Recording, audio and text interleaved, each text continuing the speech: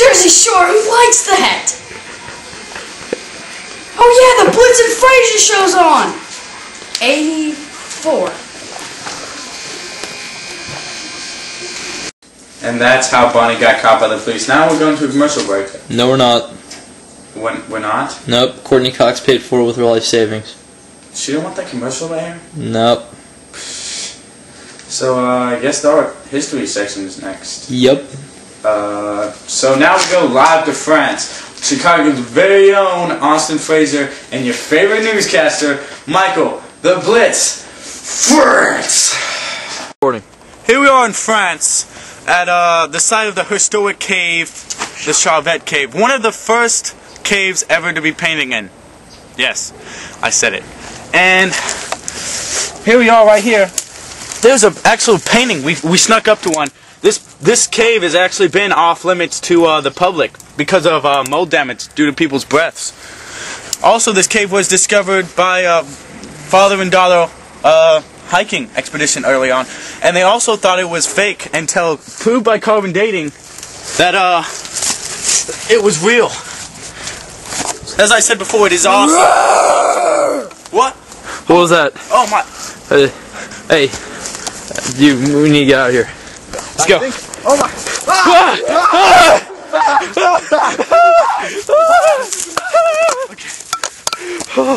Oh, I'm so scared. I'm so scared. Oh, I didn't know they had ligers guarding the national monuments. Well, they started the uh, the guarding of the national monuments in uh, after the movie G.I. Joe. They took that whole uh, Eiffel Tower blowing up scene. Pretty literal. Ooh, I'm, I'm scared. So they they got ligers to guard the place. Oh, you remember scared. I reported on it. Well, uh, after that, we returned to America, and Austin actually lost his toe in the event. They uh, had to replace him with a baby carrot for the time being. So we have a new cameraman filling in, right, Phil? Yeah. All right, so I, I put together a PowerPoint, and uh, here it is. Uh, this is Michael, and this is my presentation. And uh, I had prehistoric art in Europe and art in the Near East, and this is it.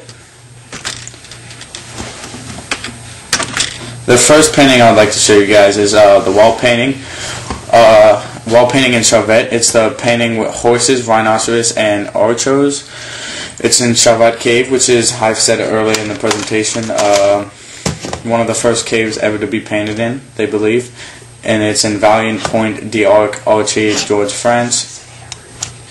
And it was made between 30,000 and 28,000 BCE, painted on limestone. And this one is in Cave Pech Merle Cave, and it's spotted horses and human hands. The hands and the horses were actually made at two two different times. The horses were painted between 25,000 and 24,000 BCE, and the hands were put in much later at 1500, 15,000 BCE. I mean, over 30 different parts. In this cave, they have over 30 different parts of the underground complex in the Perch Cave. This one is the Hall of Bulls. It's in it's in Lascaux Cave and Dordogne, France. It was made around 15,000 BCE, painted on limestone, and the largest bull is actually over 18 feet. It's pretty big. Uh, this is one of the first relief uh, sculptures ever made. It's bison. It's in high relief. It was made around 13,000 BCE. It is uh, made out of unbaked clay, and it's found in Les Touques de la France. This is Stonehenge, as we all know. It's an excellent example of post and lintel and it's on the Salisbury, Salisbury Plain in Wiltshire, England. It was made between 27,000 27,200 2,750 BCE and 1500 BCE. And it is made of heelstone, which is found actually pretty far away from Stonehenge, which we don't really know how it was brought there. And this is the second chapter, Ancient Art Near East. And the first painting I'd like to show you in this one is the Lamassu, which is uh, it was a gateway uh, sculpture at the front of the Sarin Kalu at the uh, at the uh, front of the palace there, and it's now in present day Iraq. 880. It was made between 883 BCE and 859 It is a colossal gateway figure at the Palace of Assuming. it has five legs, so it looks like it is. It looks like it's has four from all viewing angles. This is the next one I'd like to show you is the Great Lyre with Bull's Head. It is made for a royal tomb, and the tomb is now in modern day Iraq. It was made between 250,000 2550. 2550 through 2400 BCE, and it's made of gold, silver, wood. This is a votive statue of Gudea. Uh, it was made in Gursura, present-day Iraq. It was made in 2090 BCE. Has the it's act it is 20 inches tall. He was a king, and he's always portrayed wearing a long garment, and he and this one, he's holding a vessel from which life-giving waters flow. The text on his garment says that he is he had he dedicated himself the statue and its temple of the goddess of Geshima, which deciphers dreams. The Code of Hammurabi. This is a very interesting piece, I believe, because it is one of the first places where the law is actually written down and everyone can see what's wrong and stuff. At the top, you can see where. Uh, Hammurabi is talking to his god and he's telling him what to write on this tablet. It's approximately 7 feet tall and it was made in 1792 through 1750 BCE. And that's all for my uh, presentation. Thank you for listening. Uh, these are the important vocab uh, you guys need to know for my chapters. This is chapter 1 vocab. First of all, we have relief. It's uh, carved from the rock below to show prominence. And then we have modeling, shaping the damp clay on the cave floor. Then we have ridgepole, a long horizontal beam against which the sliding roofs were braced. And then we have probably the most important of all from this chapter is post and lintel. Basic architecture uses two vertical poles and a horizontal beam on top, which is the basics for all construction. And then here's vocab chapter 2, cuneiform, which is the first writing ever, ever. And then they have stylus, which is uh, a pointed writing instrument. Then we have a ziggurat, which is huge stepped structure with shrines on top, votive figures, images dedicated to the god, iconography, the study of images, and heri- the hieratic scale, where the more powerful figures are portrayed larger.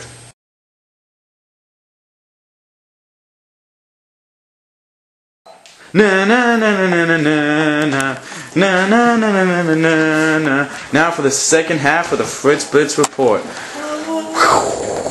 So Austin, I heard you uh lost your uh, pinky toe in France. Yep, lost it due to a Liger attack, actually, because of you. So what they replace it with? A banana or a baby carrot? Yes. So uh, what are we gonna do? Nation, I'm doing chapter 6, which is Etruscan and Roman art. Nisuiki thought it would be cool if she gave me the Yeah, longest chapter said in not to read from the script. Script. Okay. She thought it'd be cool if uh, she gave me the longest chapter in the book, and uh, I'm gonna strive, Miss Nisuiki. I'm gonna strive. This message is going to you, Miss S. And uh, up in Italy is my clone, uh, our star reporter Austin. He's uh, actually at the Ferrari factory in Rome and the surrounding areas. Wait, I have, I have a question. Is he the one that got a banana and you got the baby carrot? Yes. And uh, Austin, are you there? Are you in Italy? my full attention and everything that I am. I'm here in Italy, where uh, Sound like Billy We're- Mays. we're we're in Rome and the surrounding area of Pompeii and whatnot. And uh, Ferrari is very Italian, as you can see by my hat and my flag. I'm definitely in Italy. Okay. Uh, it's nearby Pompeii, so uh, where they built the factory. So I guess you could say Ferrari cars kick ash. Bad car pun. Kick ash. Okay, and uh, now I'm in Italy, uh, in Rome, actually. Uh, in the background, there's the Arch of Titus. Look at Wow. it. Look at the Arch of Titus. Yeah, it was uh, Dude! it's actually made for Titus, and uh, that's why it's called the Arch of Titus. And Does he have any other sculptures after him? Maybe that he conquered in the campaigns of some war no, or something? That's, that's Trajan. It's Trajan. And uh, oh my God, there's the Colosseum. Oh, it just changed! there's the Colosseum. The scenery changes! Oh my God. Dude, the scenery just changed. You zoomed in? Yeah, yeah, Or yeah! You zoomed out now? Yeah, yeah!